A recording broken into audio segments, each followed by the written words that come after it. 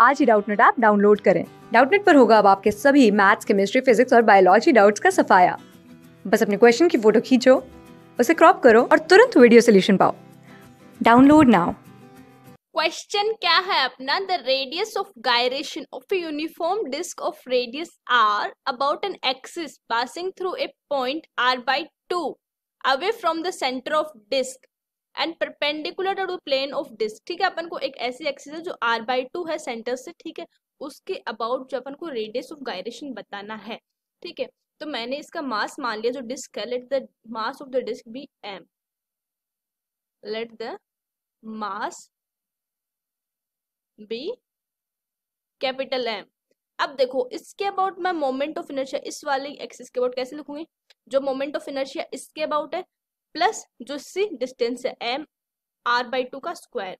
So we can write it as इसके about perpendicular है और सेंटर से पास कर रहा तो कितना हो जाएगा? M R square by two plus M distance कितना उस डिस्टेंस का स्क्वायर ठीक है? तो इसका जो वैल्यू है वो कितना आ जाएगा?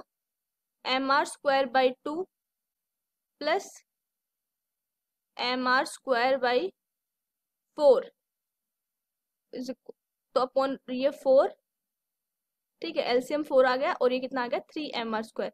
अब अपन को रेडियस ऑफ़ गायरेशन पूछा है तो इस जो मोमेंट ऑफ़ इनर्शिया मैं किसके इक्वेट करूँगी?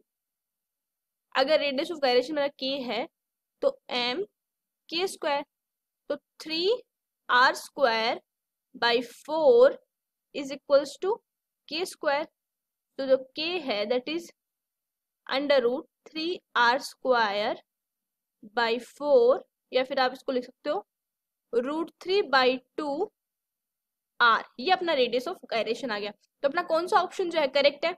ऑप्शन सी जो है अपना करेक्ट हो जाएगा। Okay thank you students class six से ट्वेल्थ से लेके NEET I I T JEE mains और एडवांस के लेवल तक, दस मिलियन से ज़्यादा स्टूडेंट्स का भरोसा।